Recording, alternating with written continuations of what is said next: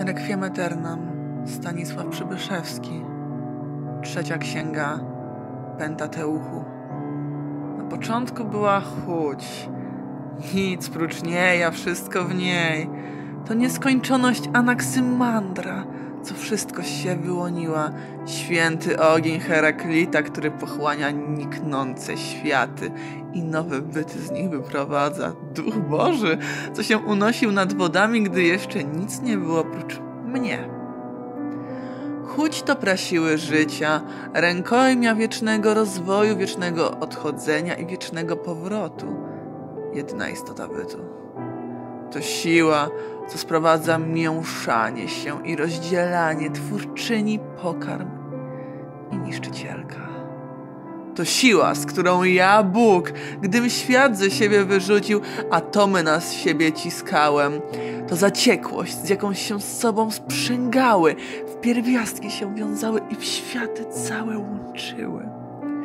To siła, co w eterze się rozpaliła pragnieniem, by może swych fal rozkiełznać jedną falą za drugą połączyć w wściekłym uścisku, wprawić je w rozkoszne drgania, rozszaleć je w podrywach krzyczącej lubieży, kurcze pragnienia ukajać w czołgających się dreszczach upojenia, aż się światło z nich porodziło. To powrotna siła, z jaką się strumień elektryczny sam ze sobą spaja, drobiną pary od siebie odbijać się i każe.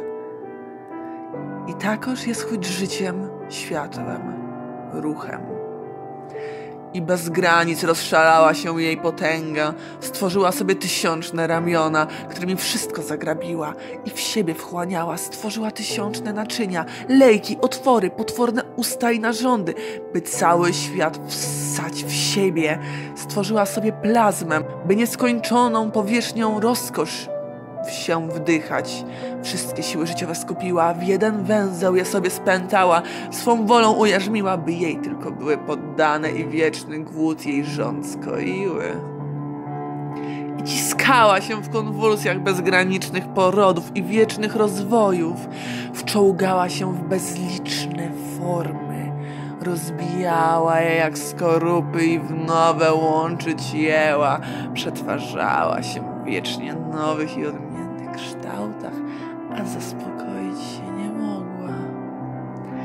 Szalała za szczęściem, gdy sobie trochita stworzyła, rżała za rozkoszą, gdy rozdarła pierwsze żyjątko i z siebie samej odrębną płeć stworzyła, by w wiecznej męce, gniewie, bólu znowu się łączyć i w wiecznych zmianach coraz nowe kształty, nowe istoty, coraz wyższe, coraz doskonalsze wytworzyć, co by jakąś nową i doskonalszą orgią lubiesz jej nasycić mogły.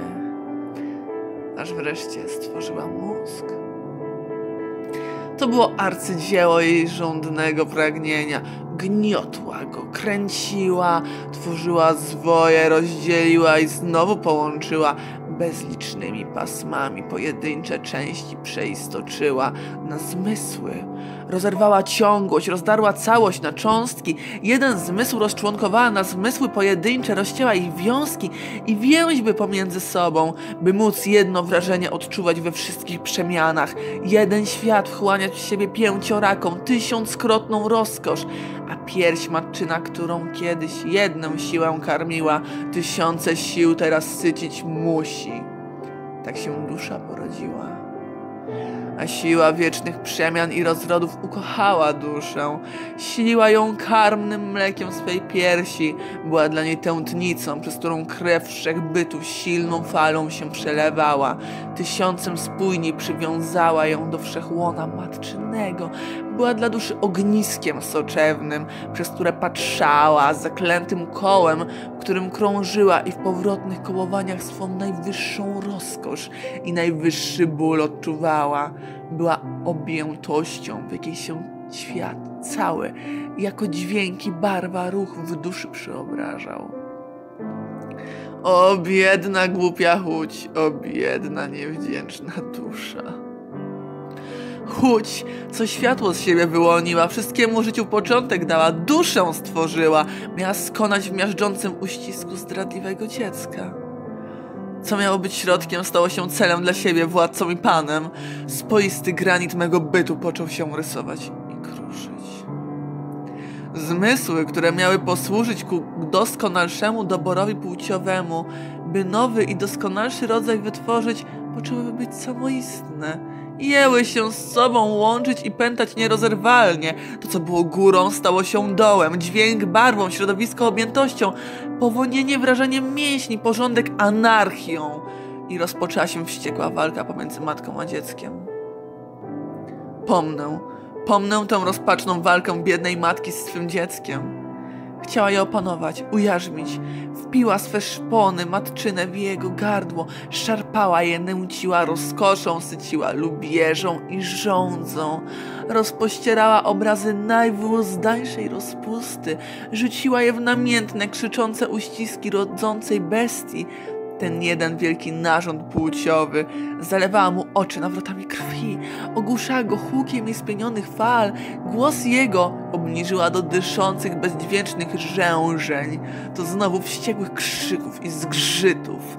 Kurczyła jego mięśnia poprzez ciało, puszczała gorące drgania, gdyby stado czołgających się żmi. Ale wszystko, wszystko na próżno ale krwawą ofiarą okupiła dusza moja swe zwycięstwo. Chorzała, więdła, schła. Sama się oderwała od maczynego łona, sama przecięła tętnicę, sama zatamowała źródło swej mocy. Żyje wprawdzie, żyje jeszcze treścią siły, którą pożarła, przetwarza jeszcze w sobie środki, które do doboru i rozrodu służą. Może jeszcze upojać się obrazami, które żądze drażnią. Może w sobie wywołać ekstazę śmiesznego okłamywania się chuci, co mniema, że może kobietę stopić w sobie, ale wszystko, co sama tworzy, jest zbytkiem.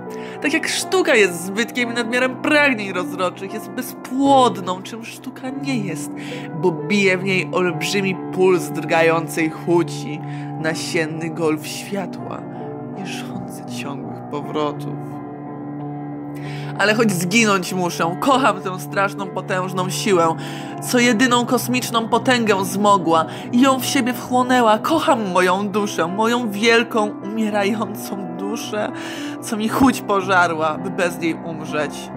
A więc muszę umrzeć bo źródło światła wyschło, bo ostatnie ogniwo w nieskończonym rozwoju formacji, w jakich się chuć w coraz co nowych zmianach przetwarza bom jest pianą, orkanem burzy w miazgę rozbitą na grzebieniu ostatniej fali płciowego rozwoju fali, co się już o brzeg rozbiła i żółty piasek jego białym haftem obszywa. Muszę umrzeć bo dusza moja za wielka, za przemożna, by mogła porodzić nowy, szczęściem rozlśniony, jasną przyszłością drgający dzień. Ale kocham, kocham zmarłą chuć, której resztki dusza ma strawia. Kocham ostatnie krople krwi mego istotnego bytu, jako mio, mąż i rodziciel tego bytu, w którym się istotność cała przejawia w całej swej potędze, swym majestacie i okrucieństwie. Kocham tę odwieczną siłę, co moje wrażenia słuchowe zabawia niepojętymi barwy. Z wrażeń powonienia rozsnuwa rozkoczne obrazy, a z uczuć dotyku wytwarza niewypowiedziane rozkosze wizji. I kocham moją chorobę i moje szaleństwo, co się w coraz to nowy, a dzikszy system przybiera, coraz wyszukańczym szyderstwem sieka i kpi i drwi z siebie i z świata całego.